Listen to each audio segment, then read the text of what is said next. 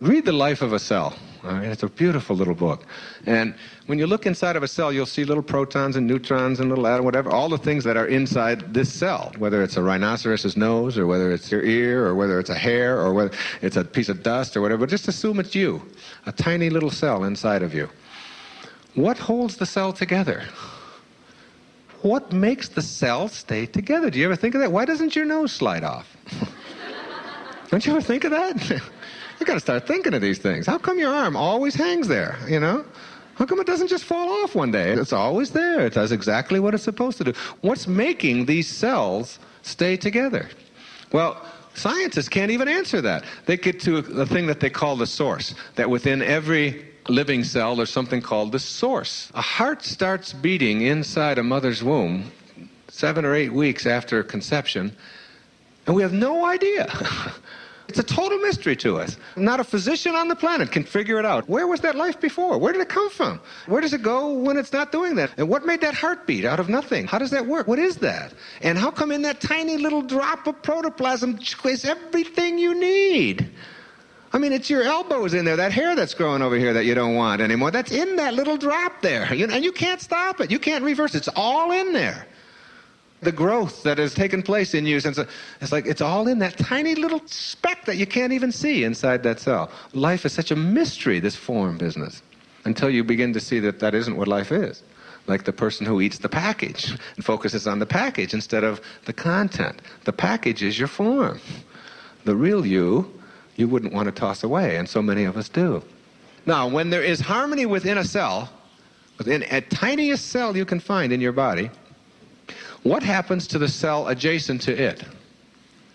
It cooperates with that cell, doesn't it? It cooperates with that cell. It doesn't eat it up, it doesn't try to hurt it, it doesn't try to destroy it. It is at peace, it is at harmony, and so harmony and cooperation become the essence of life.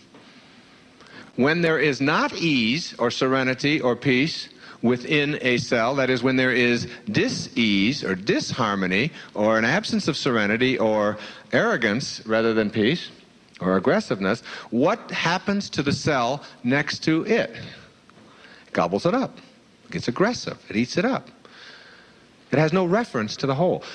Something that has no reference to the whole means that it has no regard for the whole. Like you have many, many life forms on you that are ugly if you look at them. Look inside your eyelid and study it. And You'll see millions of little life forms, and then you magnify them. They're, they got claws and they got, they got teeth, and, they, and they're in your eyelid, and there's millions of them. But they have a reference to the whole. They don't gobble up your eyeball.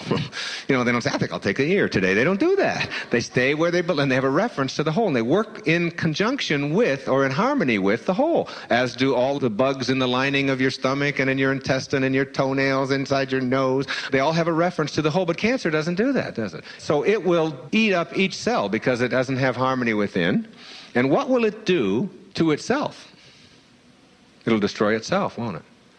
A cancer in society is the same way. A cancer in society is one of us who is one cell, who doesn't have ease within itself, has no reference to the whole, that is all the rest of us, or all of society, and doesn't see itself as part of all of you, and it will gobble up all of those around it until it destroys itself, doesn't it? So, what is the answer to a cancer in our body and a cancer in our society? Is to get harmony within. And when you get harmony within, you cooperate with the cell next to you in order to save yourself. Now, that's just like a little mini lesson in metaphysical philosophy. Now, imagine me up here with you making yourself into a cell for a second so that you got all these tiny little cells and this philosophy applies. Now imagine we can all just stand back and see all of humanity, six and a half billion of us, or six billion of us. Is that what we have now? And here is this huge mosaic that constitutes all of humanity. And it's a puzzle. And it has six billion pieces in it, but there's one missing. And you can get back far enough and see it. Where do your eyes go? Right to the missing piece. The totality of that life form is not complete without that missing piece, is it? That's how important you are.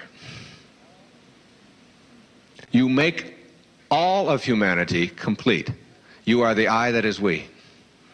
just like the I that is we, that is inside of your pancreas. You are alive with life and all the different bacteria and all the, the trillions of cells and so on.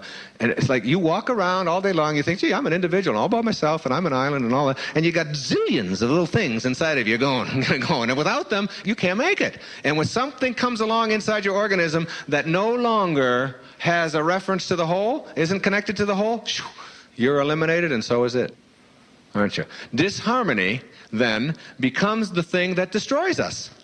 And as long as you are in harmony and positive, and when people say, well, positive thinking is just a crock, it isn't in the sense that a positive thought keeps you in harmony with the universe, and a negative thought keeps you away from it.